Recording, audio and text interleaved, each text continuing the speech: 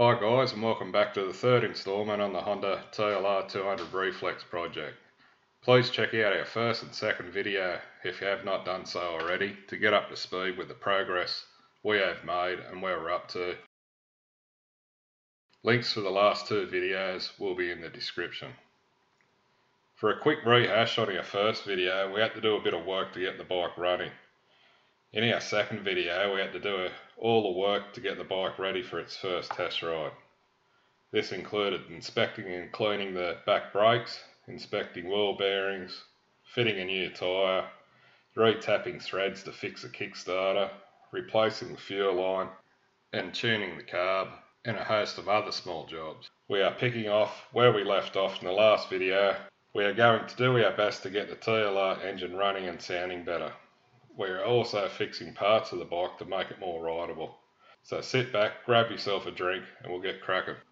Alright, where to start? Um, what we'll do, we'll take the skid pan off, uh, we'll dump the oil, uh, we'll check out the oil strainer and clean it.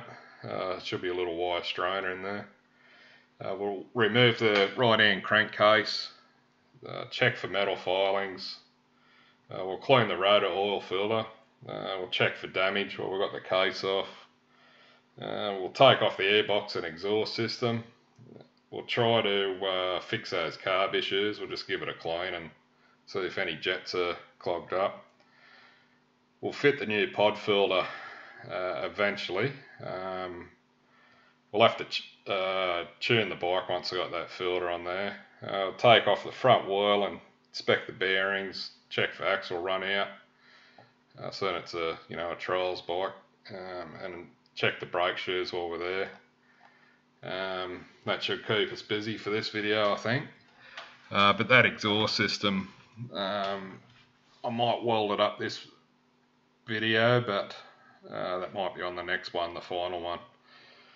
All right, well, um, enjoy. Sit back and enjoy. All right, cheers.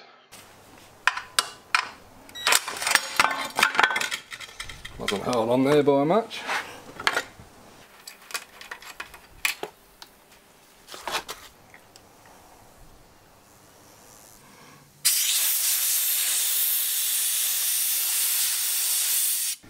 Just making sure that the O-ring's still intact and can seal.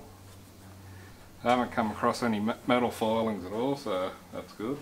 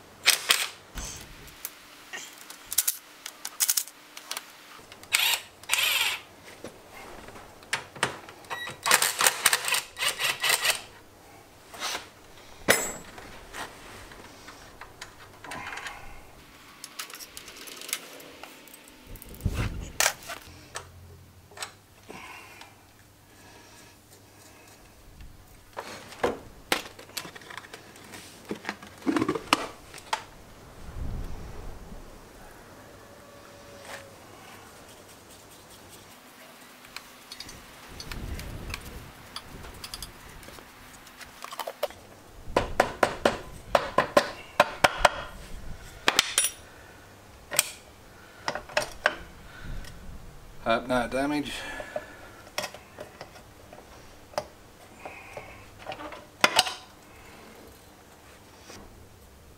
No metal filings I don't think.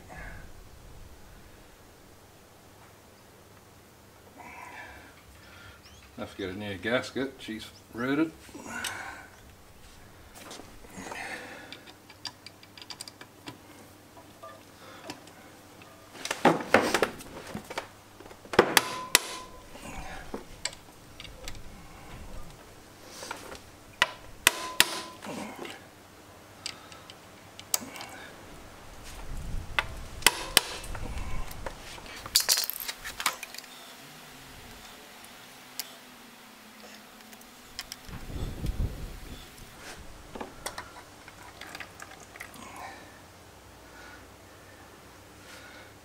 There is filings in there.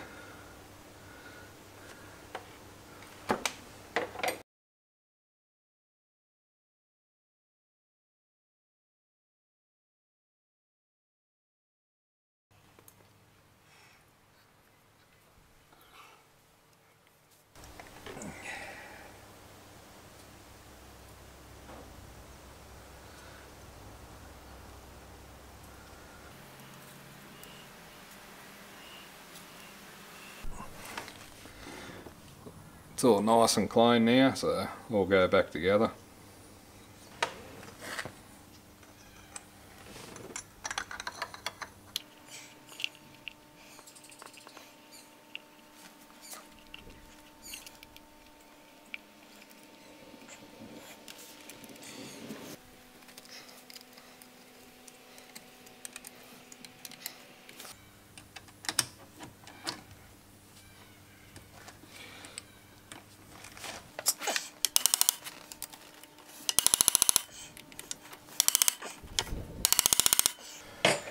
Alright, it's done.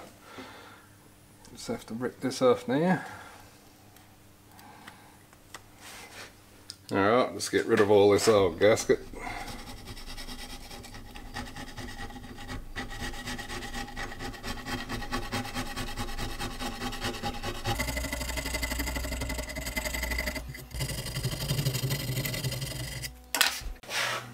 Yeah, I've just got um, underneath that that gasket and um, there's a lot of scrape marks, old scrape marks. You can see all the residue and stuff in it. Um, so what I'll do, I'll just get a stone on the uh, fine side and just lightly putting that weight on it. Uh, getting all the high spots. And just keep it flat. You can actually do two sides, one head here. Just get rid of the, the high spots.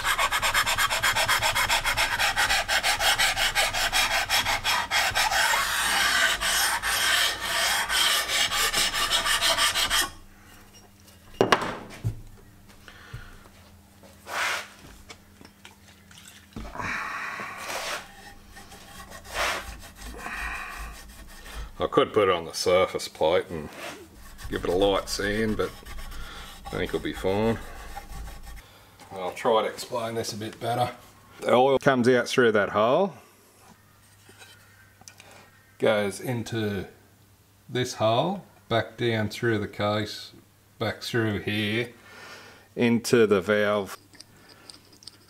This is a, a rotor filter, uh, centrifugal force when this spins throws the contaminants out to the side. And uh, these are the, it looks like silicon but that's what coming out of the outside edges of the filter. So that's what you have to clean out. Alright, so I have to clean all this gasket up now. Just trying to put rag in here so when I scrape it doesn't go down and there's a bearing just here.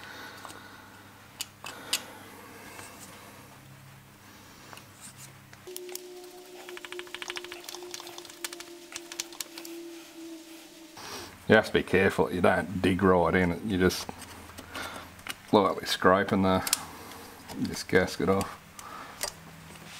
Yeah, I'm not a massive fan of doing this, but I'm going to use uh, some gasket maker, uh, the blue gasket maker. Um, this bike wasn't released in Australia, so I'm not going to wait, you know, weeks and weeks. It might be the same as XR200, I'm not too sure, but I'm just going to use this. I'll be careful with it especially around these areas where the oil comes back through.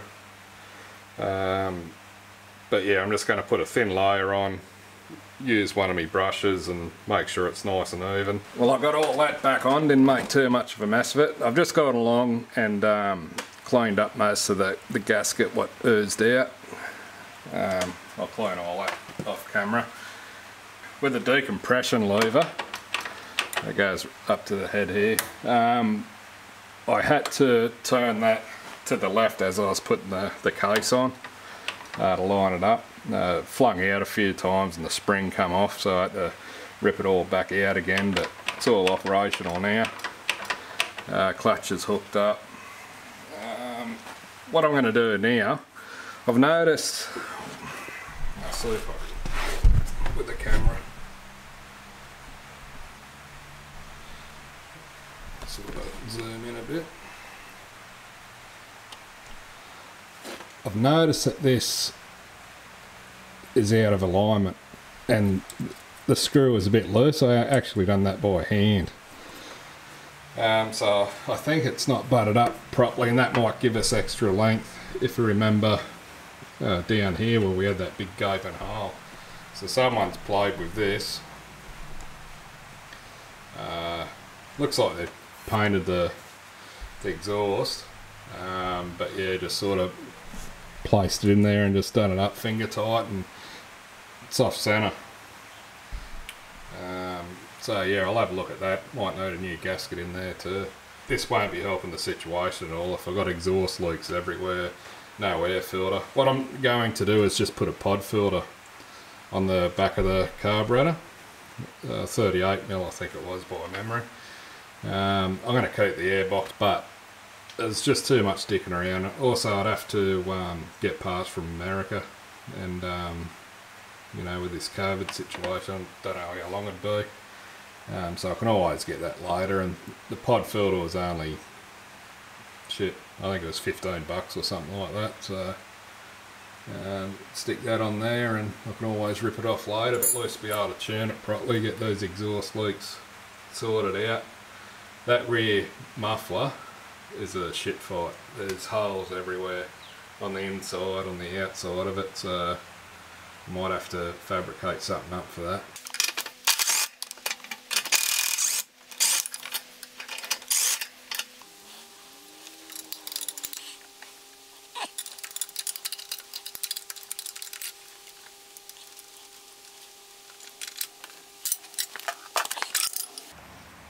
Looks alright.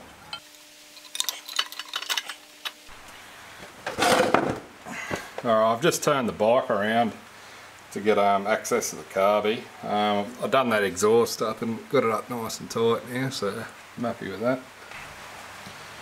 Alright, so yeah, I've got the bike back in pieces again. I had to take off the tank and everything. I tried working on the carb, but it was impossible, so I've ripped it all to pieces again. I'm just going to clean the carby right out and just check every gasket.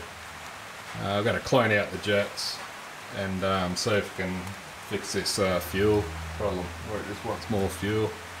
But yeah, if that doesn't work, well, I'll just have to get another jet. Well, hopefully you can see that. Try not to get my body in the road all the time, but yeah.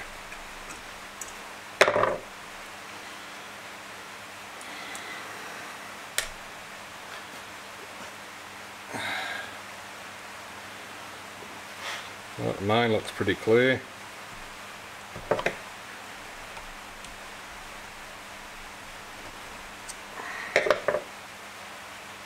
I'll have to get my glasses on for that one.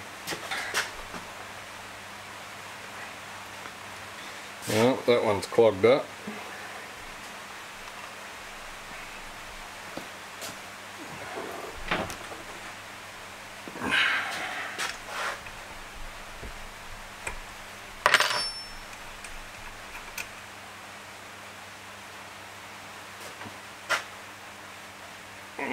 Yeah, tube looks fine. I won't attack that, I'll just spray it through. Right, this um, gasket here, it's hard as a rock, but hopefully it seals. Can't see it breaking away anywhere. Alright, I'll just give it a good clean out this with um, one of the oxyacetylene uh, files for the tips. I'll go with the smallest here. Shit, even that won't get through. Must be blocked right up. Try from the other side.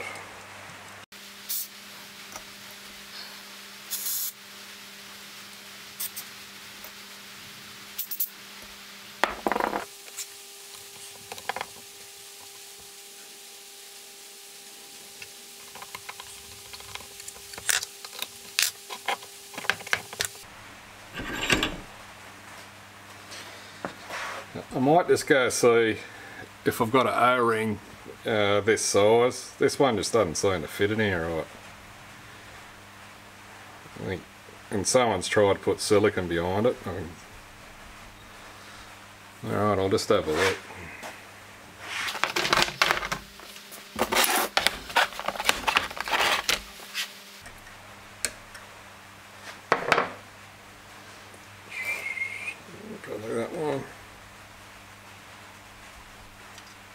Look at that, perfect fit. Be even better once I dig out all this other crap what's behind it. Oh, that's good. Alright, we'll go with that.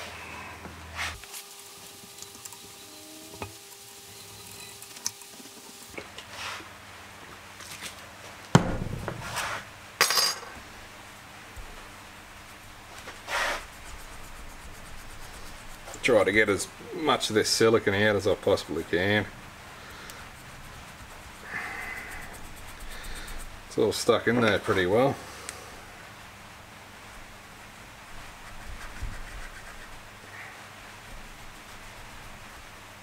I did spray around the carb with um, Aerostart.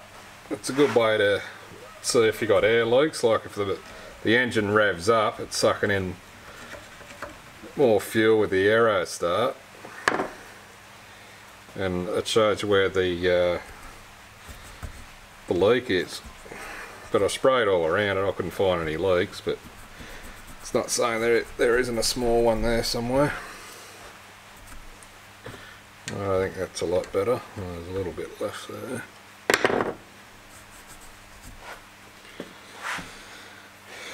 I'll give it a good clean tomorrow that bang, look at that. Awesome. Taking off the oil and everything just to get this out. Everything's such a bloody tight fit. ridiculous. Fucking drives me nuts. I don't know if you can... Oops.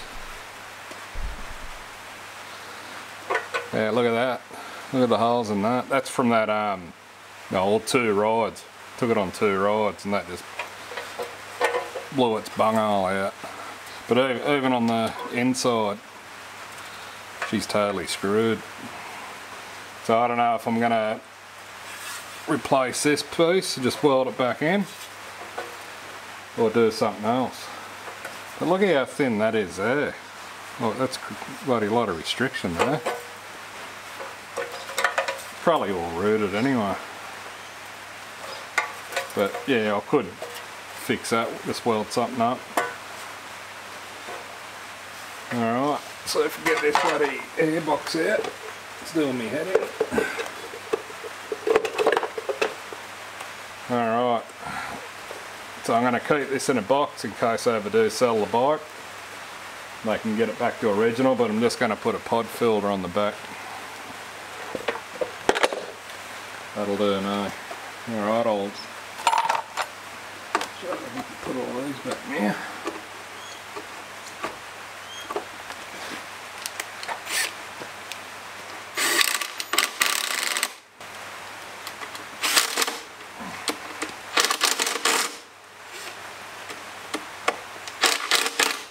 Alright, shockies are back on. Right, that'll do me for the day.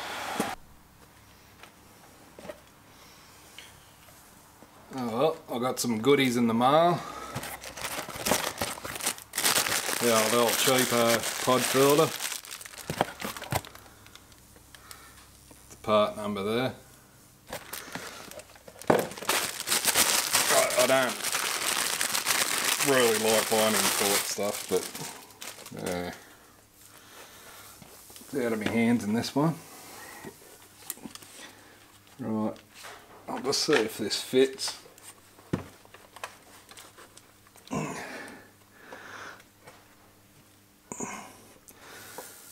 There you go. Pretty good. I'm putting uh, plastic underneath. I've already uh, glued a bit there, just on a few points. Um, because I got the, the rectifier, what it has to mount on because of the, the airbox is gone. And also I don't want shit coming up under the under the seat. So it's just a, you know, block it off, bit of thin plastic Alright, so I'll oil this filter up. I just put a bit of um, oil in this filter.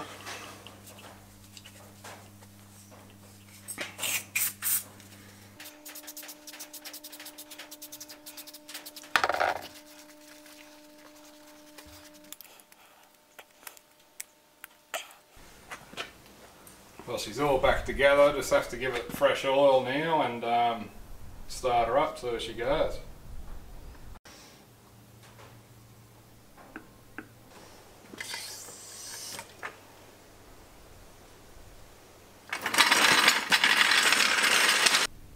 Okay, let's get started on the front of the bike. We'll go over to the uh, CNC plasma table. We'll cut a stainless number plate for the front. I'll start jazzing it up a bit and get the get the bike looking good. Okay, we're over in the designer's edge software. We'll just get the rectangle square tool. Uh, make a square 230. Just scale it.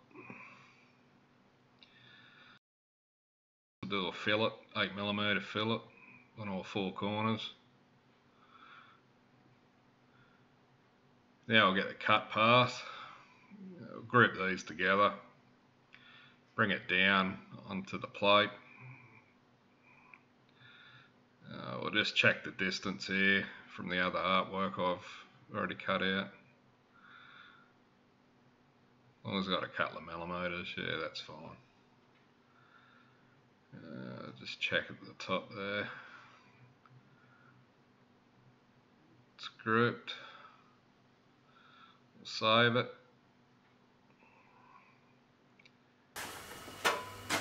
Okay, we'll initialize.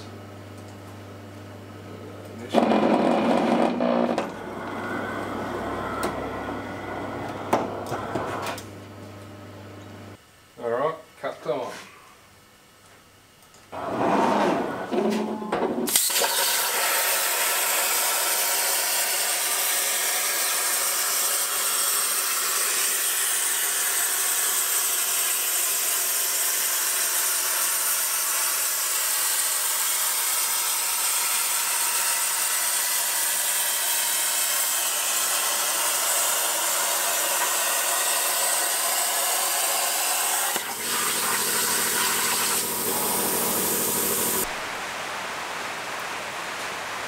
You'll have to excuse the noise in the background, but it's raining and uh, we need the rain at the moment because we're in drought. But um, I've made the number plate as you've seen the other day on the CNC plasma cutter, the plasma cam. Uh, 3116 stainless steel, uh, 2 mil thick. Might be a bit over top for this, but it'll look good when it's finished. Um, I'm gonna, it's got three points of contact where I can bolt up to. It'll have to be, I'll have to make spaces in the lathe. So I'll clear these bolts on the outside here. Um, but it should look good when it's finished. I'll have to get rid of all those scratches, so I might just scotch brite it. So, you know, if I decide to paint it later, I'll have a good key uh, for the paint to stick to, or, you know, get a sticker on there or whatever. Um, so yeah, we'll get cracking onto that now. It's four, but the, these be roughly six mil. I'll clean these threads out. Especially this one down here. They had a, just a bloody metal tech screw in there. So they've rooted the threads a bit. And I'll pick that up. But yeah, so I'll have to recut that. Uh, but yeah, okay, well let's get cracking onto that. Alright, this is the worst one.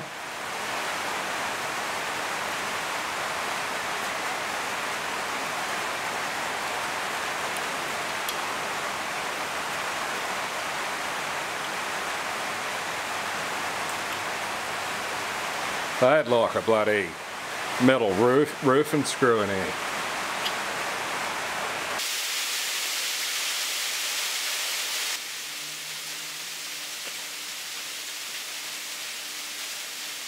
Now just test that, see so if playing them out good enough.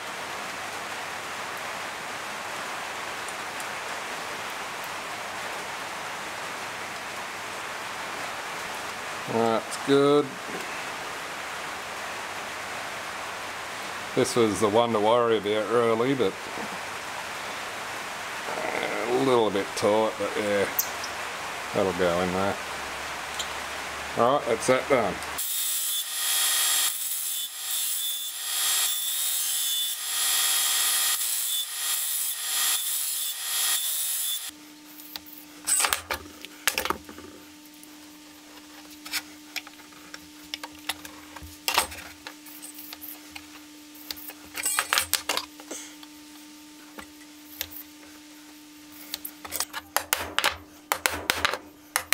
Alright, so I just want to measure the offset. That's, I wonder if you can see that. That's um, about 12 mil for these two top ones. And 15 mil, I think. Yeah, 15 for the bottom one. Alright, I'll just cut them out on the load now. Now lock the total there.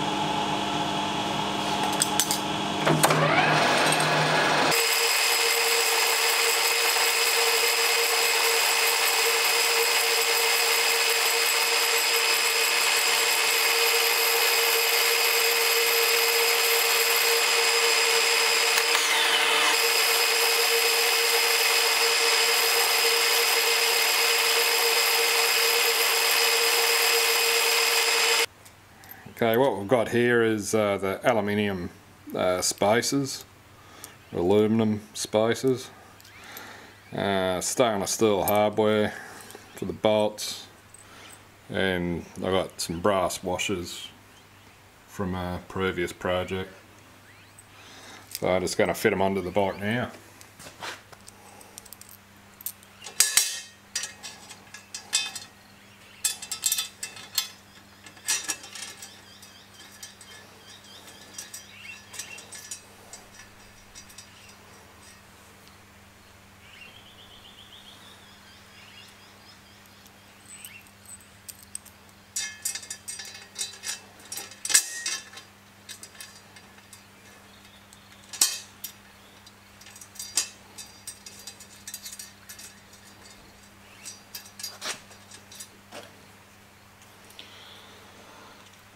Last one.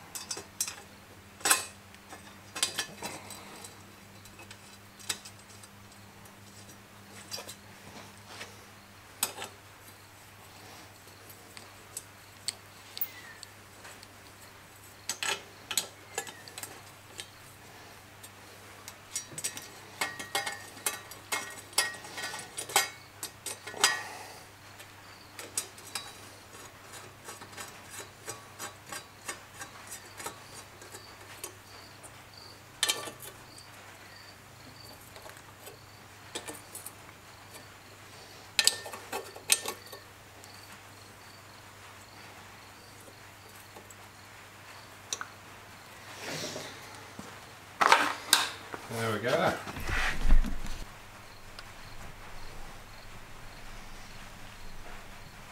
Yeah, so I think it looks pretty good.